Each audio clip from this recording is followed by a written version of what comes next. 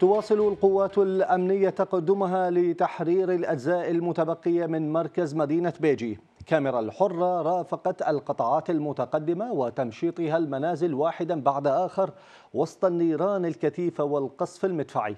في غضون ذلك وعند محور قضاء الشرقات شمال بيجي المحاذي لمحافظة نينوى يتقدم اللواء السادس والخمسين قوات خاصة الوحدات العسكرية المتوجهة لتحرير مدينة الشرقات. من جانبها ذكرت خلية الإعلام الحربي أن طيران الجيش تمكن من تدمير وكرين لتنظيم داعش في جبل مكحول كما حاصرت القوات الأمنية عناصر داعش الهاربين من بيجي وقتلت العشرات منهم. قرب محطة الطاقة الحرارية في المدينة. المزيد مشاهدينا مع أحمد عرام.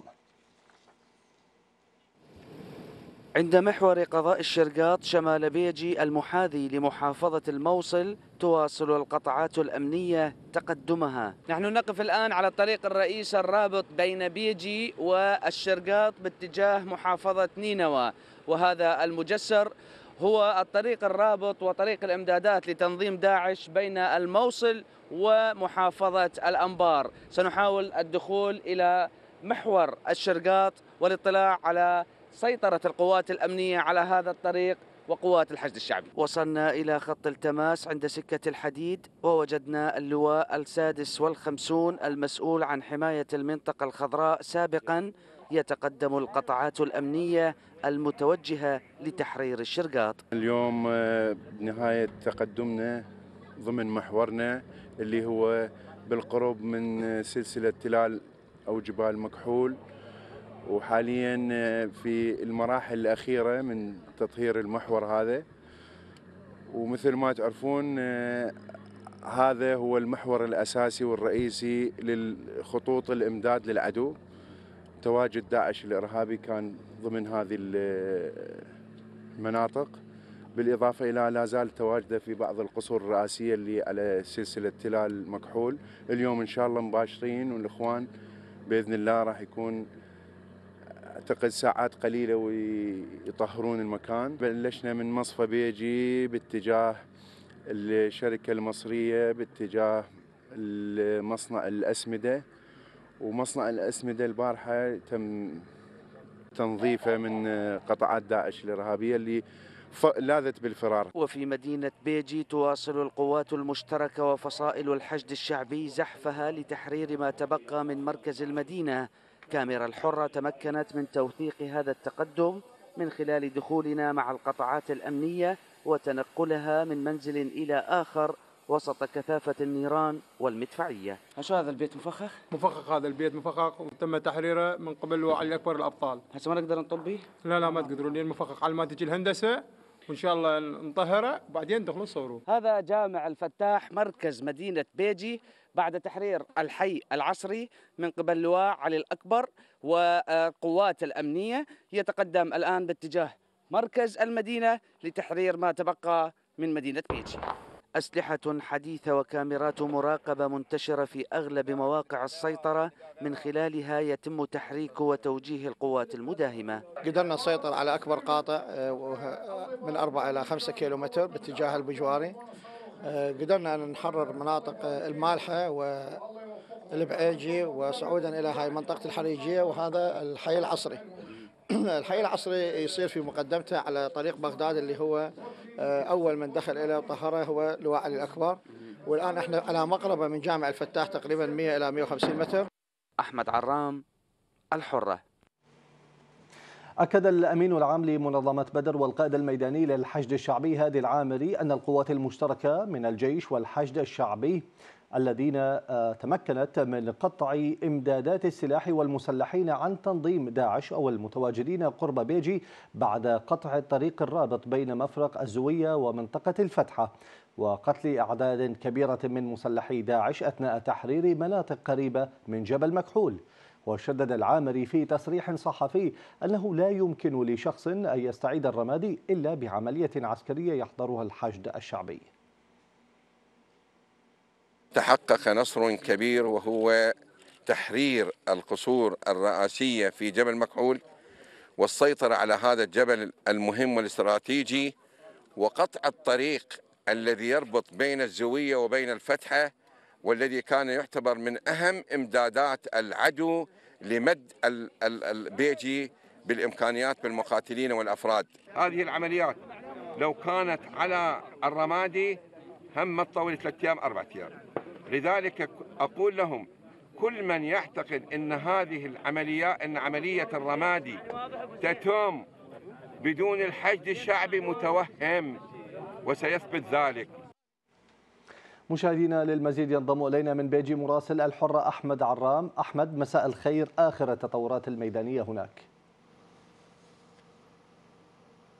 نعم المحرابي المعركة تحولت إلى الجبال جبال حمرين وجبال مكحول بعد سيطرة القطاعات الأمنية على أغلب الأهداف المرسومة لها فيما عدا مدينة بيجي وقد وصلت إلى جامع القطاعات الأمنية وقوات الحشد الشعبي وصلت إلى جامع الفتاحية قريبة منه وتطهر هذه المدينة شيئا فشيئا وتتحول من منزل إلى آخر. لا يوجد من تنظيم داعش سوى بعض العناصر التي تهرب من هذا المنزل إلى ذاك المنزل بالإضافة إلى سيطرة آه، آه، القطاعات الأمنية وقوات الحشد الشعبي على تقاطع إحدى التقاطعات المهمة المسحق وهي قرية الزوية أيضا تستعد القطاعات الأمنية إلى اقتحامها. هذه القرية قرية مهمة وهي نقطة التقاء بين محافظة الموصل وأيضا محافظة كركوك. والمحرابي للمزيد من هذه المعلومات معي آه، النائب والقيادي في منظمة بدر ستار آه، آه، الغانم. دكتور ستار أنت موجود منذ قبل انطلاق العمليات العسكرية ومطلع على جميع المحاور. أردنا أن من خلال قناة الحرة أن نطلع على آخر التطورات في هذه المحاور. نبدأ من جبال مكحول. إلى أين وصلت؟ هل تم دخول القطاعات الأمنية إلى القصور الرئاسية؟ نعم اليوم تماما تم تطهير منطقة جبال مكحول ودخلنا إلى القصور الرئاسية ونزلنا من السفح الثاني للجبال مكحول إلى وصلنا إلى ضفة النهر. وهذه المنطقة تماما تطهرت وموجودين كنا هناك والوضع آمن هناك. ماذا الدواعش صاروا عبر النهر. ماذا تبعد عن مدينة الشرقاط؟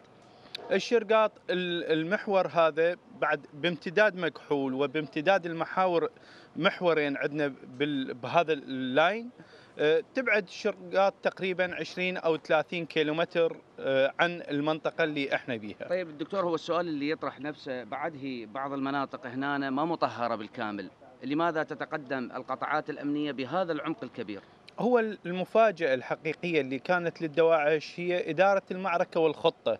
الخطة كانت بها مفاجآت كثيرة للدواعش وهذا اللي أربكهم يعني أول يومين كان الدواعش مربكين جدا وما يعرفون ما كان واضح عندهم سير العمليات ولا الخطة العسكرية اللي اتبعتها قيادة قوات الحشد الشعبي. بالتالي كانت خطة سرية وما افتهموها وبالتالي تم تطويق مدينة بيجي بالكامل وتم تطويق مدينة منطقة البجواري بالكامل ومحاصرتها 160 درجة. والقوات الأخرى انطلقت على المحاور الأخرى على الفتحة وباتجاه آه، جبال مكحول وتم تطويق آه، مصفى بيجي بالكامل. واليوم القوات دخلت إلى آه، حررت من يوم أمس الشمالي للمصفى وبعض الجيوب في اليو في جنوب المصفى تم اليوم معالجتها. طيب دكتور حتى تكون الصورة واضحة للمشاهد آه، نعم. البجواري ومنطقة مدينة بيجي ومن والبجواري ما تزال عملية تطهيرها تمشيطها هي نعم. مطوقة من مسافات بعيدة لكنها لم تحرر بالكامل القوات عندنا قوات داخلة في محيط آه، بيجي بل الجزء الجنوبي من بيجي داخلة عندنا قوات نعم دخلنا اليوم مع آه. هذه القوات. لكن إنه إحنا نريد من نتقدم بسرعة بحيث نعطي خسائر. العدو مستميت هناك لأن محاصر 100 و360 درجة. بالتالي هو آه، ما يوصل لا تمويل ولا عتاد ولا أي شيء محاصر 100% فهو مستقتل هناك. فخيارين قدامه يا إما يستسلم يا إما آه، يقاتل لحد ما ينقتل والعتاد اللي عنده محسوب وقليل وإحنا ما مستعجلين حتى ننطي خسائر فبالتالي راح يتم قسم تستمرون بالدخول إلى واستمرار بالمعارك أم هدفكم فقط محافظة صلاح الدين؟ الوصول إلى الش... إلى ما بعد الشرقاط، الوصول إلى الحويجة، هناك من يتحدث عن انطلاق عمليات في الحويجة. لا هذا جدا سابق لأوانه وهذا كلام ما أعتقد به دقيق، العمليات آه، هي عمليات آه، شمال صلاح الدين تحريرها وهذه منطقة تقريبا تمتد على مساحة ألف كيلومتر مربع وإن شاء الله تنجز خلال الأيام القادمة. اليوم يعني إحنا تقريبا أنجزت 90% من العملية. هناك سقف زمني لانتهاء مناطق شمال آه، صلاح الدين؟ ما, ما إحنا ما في ظل هذه التطورات نعم الأمنية والانهيار السريع. نعم ما عندنا سقف زمني محدد. إحنا نقلل الخسائر آه، يعني قد ما نقدر ونتقدم وهذه يعني يوم أمس ظهر كنا بالسفح جبل مكحول وما ما كنا واصلين للقصور الرئاسية. تم معالجة الموقف اليوم عبرنا القصور وصرنا بالسفح الثاني. فالعمل كل ما يكون دقيق ومنظم يكون خسارة أقل والنصر به أكبر اللي ينزف للشعب العراقي. شكرا جزيلا. شكرا. لكم. شكرا. إذا المحرابي وبالإضافة إلى هذه المعلومات القيمة آه، آه، طيران القوة الجوية وطيران التحالف أيضا آه، هناك دعم جوي لقطع إمدادات تنظيم داعش الأرتال القادمة من محافظة الموصل سواء من محافظة الموصل نعم. أو من محافظة كركوك من الحويجة تقوم بقصف هذه الإمدادات وتعطيل هذه الإمدادات ووصولها إلى مدينة الشرقاء المحافظات أو المدن التي تسيطر عليها القطاعات الأمنية هذا بالإضافة إلى آه، سيطرة القطاعات الأمنية على الطريق الواصل إلى محافظة الأنبار غربا إلى محافظة الأنبار وبالتالي قطعت أي إمداد لعناصر تنظيم داعش المتواجدين في هذه المدينة. إذا كنت معي من بيجي مراسل الحرة أحمد عرام. شكرا جزيلا لكل هذه المعلومات وأيضا الشكر موصول لضيفك الكريم.